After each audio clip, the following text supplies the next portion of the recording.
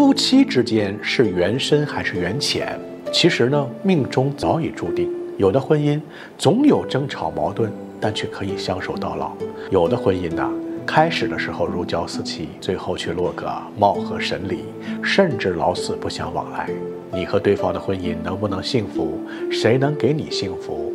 其实老天呐，早就写好了。你还千万别不信。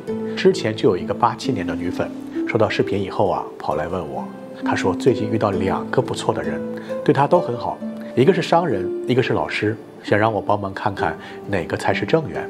我看了一下信息呀，就觉得老天都在帮他。为什么这么说呀？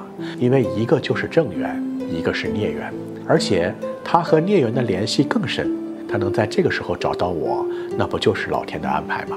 先说那个跟他关系更近的商人，他的盘非常典型的是比劫旺财弱，无时伤生财。这样的男人非常自私自利，而且擅长花言巧语。从他之前链接过的数段关系呀，也能看出来，被他伤害的人一定很多。你跟这种格局的男人在一起呀，财运和福气都会被他劫走。而那个老师呢，就是他的一个良配，命带正印，不仅为人善良又有才华，还非常顾家。他们俩在一起呀，就是财旺家旺。我把这些信息一五一十的跟他分析透彻，但显然呢，他还是喜欢那个商人，非要去撞南墙，还是陷入到了这段孽缘当中。所以，我们说，很多时候对你有极大吸引力的缘分，你遇到了呀，是尤其要小心的。他跟这个商人结婚不到半年，对方就逼着他离了婚，家里财产他一分都没拿到。